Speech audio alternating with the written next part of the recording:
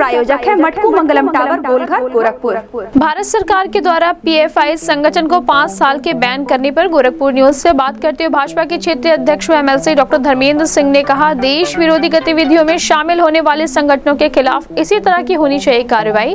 आगे भी होती रहे कार्रवाई तभी ऐसे संगठनों को मिलेगा मुंहतोड़ जवाब।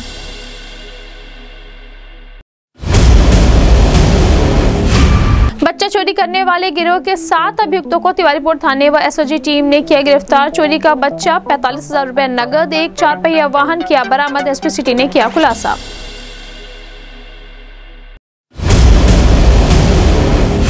सदर सांसद रवि किशन शुक्ला की तहरीर पर कमला बिल्डर के खिलाफ कैंट। थाने में मुकदमा किया गया दर्ज। बकाया रुपए का चेक बाउंस होने पर दर्ज किया गया मुकदमा। एसपी सिटी कृष्ण कुमार विश्नोई ने दी जानकारी।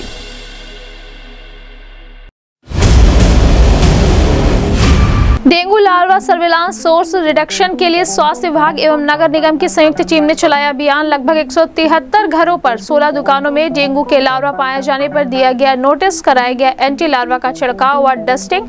कहा, डेंगू से बचने के लिए जनता को प्रचार प्रसार के ज़रिए किया जा रहा है जागरूक।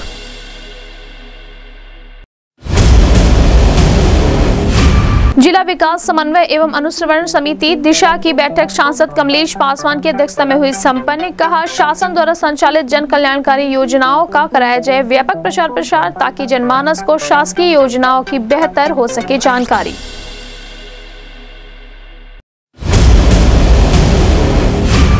एसपी क्राइम इंदु प्रभा सिंह की अध्यक्षता में एसजेपीयू व एएचटीयू की मासिक समीक्षा एवं समन्वय बैठक हुई। संपन्न ने कहा, महिला एवं बाल सुरक्षा संगठन, एसओपी, अनुसंधान एवं अभियोजन, बाल कल्याण पुलिस अधिकारी द्वारा विवेचक के समक्ष आ रही समस्याओं पर हुई चर्चा, दिए गए आवश्यक दिशा निर्देश।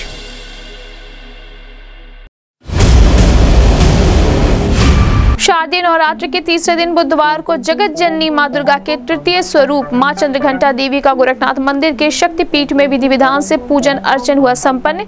आरती एवं क्षमा प्रार्थना के बाद वितरित किया गया प्रसाद।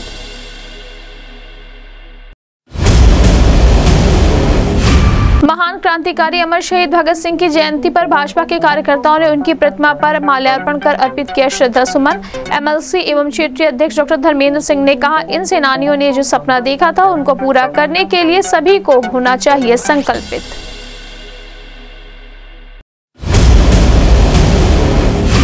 मादक पदार्थों के साथ दो अभियुक्तों को राजघाट थाने की पुलिस ने किया गिरफ़्तार। आठ किलोग्राम नाजायज गांजा किया बरामद, भेजा जेल।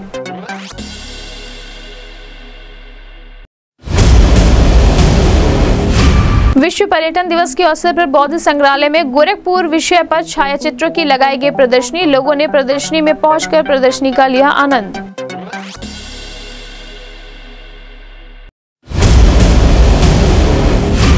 और न्यू आयुक्त न्यायालय अधिवक्ता समिति का शपथ ग्रहण समारोह। एमएलसी देवेंद्र प्रताप सिंह की अध्यक्षता में सकुशल हुआ संपन्न। जनार्दन श्रीवास्तव अध्यक्ष राम प्रवेश यादव मंत्री सहित अन्य सदस्यों ने पद व गोपनीयता की ली शपथ।